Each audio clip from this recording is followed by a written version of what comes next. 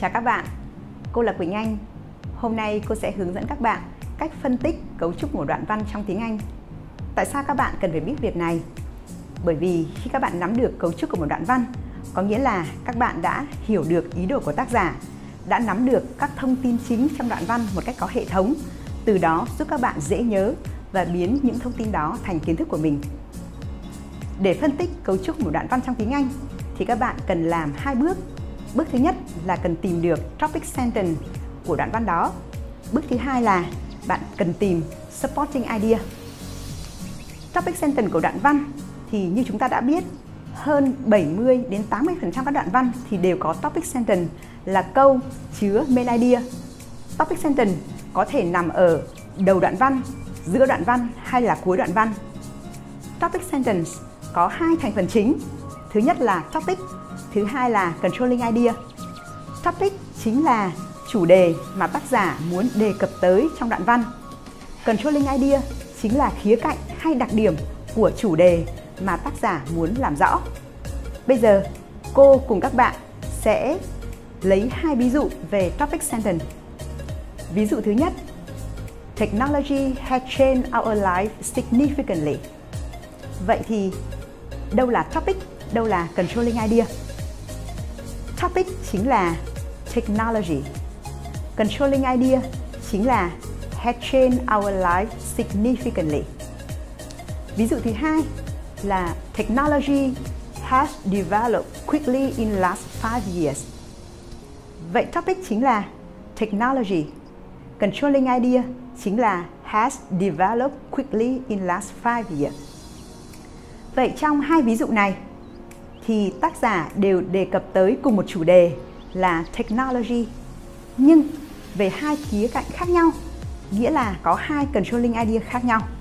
Vậy các bạn đã nắm rõ được topic và controlling idea chưa? Sau khi chúng ta tìm được topic sentence thì chúng ta tìm đến supporting idea. Vậy quan hệ giữa topic sentence và supporting idea như thế nào? Supporting idea chính là các ý để làm rõ cho controlling idea của topic sentence. Có nghĩa là sau câu topic sentence thì toàn bộ phần còn lại của đoạn văn sẽ làm rõ cho controlling idea. Vậy các bạn thấy điều này có thú vị không? Bởi vì có một mối quan hệ rất chặt chẽ giữa controlling idea và supporting idea. Dựa vào mối quan hệ chặt chẽ này, chúng ta có thể kiểm chứng được là cái topic sentence, cái controlling idea và cái supporting idea mà chúng ta tìm được nó có đúng hay không. Bây giờ cô và các bạn sẽ cùng phân tích cấu trúc của một đoạn văn cụ thể. Chúng ta cùng nhìn vào đoạn văn. Đoạn văn của chúng ta có 4 câu. Vậy bước thứ nhất là chúng ta cần tìm được topic sentence. Đáp án là câu thứ nhất là topic sentence. Vậy trong topic sentence thì đâu là topic, đâu là controlling idea? Topic sẽ là Science and Technology. Controlling idea sẽ là more closely related than ever, have increased human control over nature beyond the imagination of earlier ages. Controlling idea này quá dài và chúng ta chỉ giữ lại keyword. Vậy keyword của nó sẽ là increased human control over nature.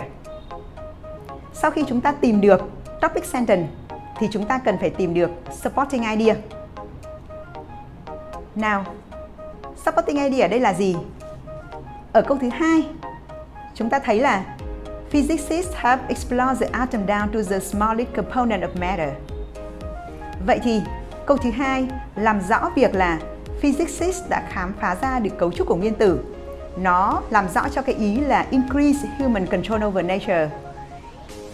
Thì đấy chính là supporting idea number one. Tiếp tục đến câu thứ ba.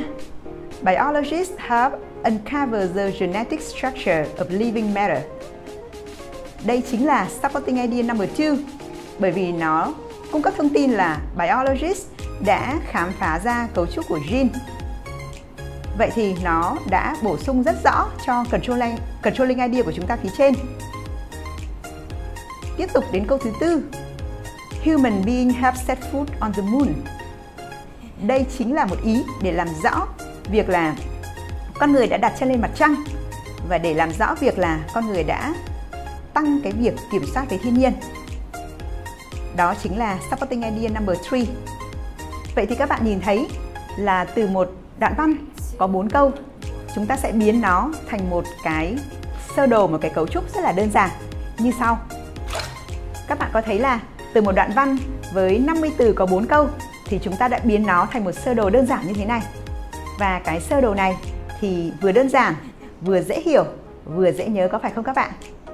Đấy chính là lý do tại sao chúng ta cần nắm rõ được cấu trúc của một đoạn văn trong tiếng Anh. Qua ví dụ vừa rồi, cô đã phân tích cho các bạn cách tìm cấu trúc cơ bản của một đoạn văn trong tiếng Anh. Nếu các bạn có quan tâm hay có bất cứ câu hỏi gì thì hãy để lại comment nhé. Xin chào và hẹn gặp lại các bạn ở các video tiếp theo.